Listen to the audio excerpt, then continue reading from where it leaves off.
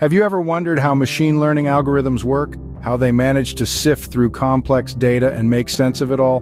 One key player in this process is the expectation maximization algorithm, a statistical tool that's as fascinating as it is powerful. Let's dive into it.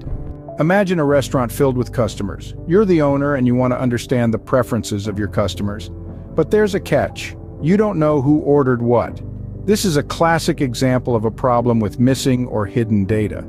Now how can you solve this? This is where expectation maximization, often abbreviated as EM, swoops in to save the day. In this analogy, the EM algorithm is like a brilliant detective trying to solve a mystery. It starts with a guess, a hypothesis about the world.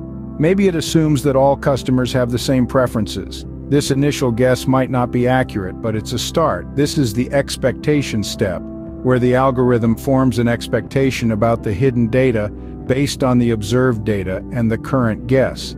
Next comes the maximization step. The algorithm uses the expectations formed in the previous step to update its estimates. It adjusts its initial guess to better fit the observed data. In the restaurant example, it might realize that the initial assumption was wrong and that there are actually two distinct groups of customers with different preferences.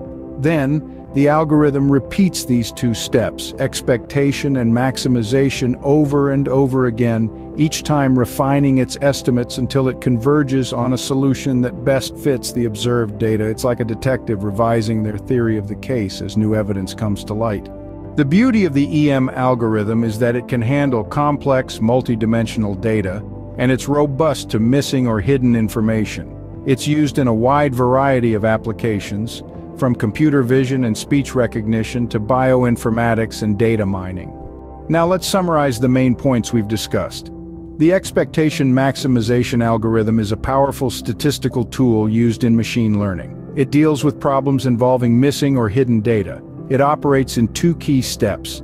Expectation, where it makes an initial guess about the hidden data, and maximization, where it refines this guess based on the observed data. The algorithm repeats these steps until it arrives at a solution that best fits the data. Remember the restaurant example. Just like the owner trying to understand customer preferences, the EM algorithm works tirelessly, refining its understanding of the data until it unveils the hidden patterns and relationships. So, the next time you marvel at the power of a machine learning algorithm, remember the unsung hero, the expectation maximization algorithm, tirelessly working behind the scenes to make sense of complex data. It might not be the flashiest part of machine learning, but it's certainly one of the most important.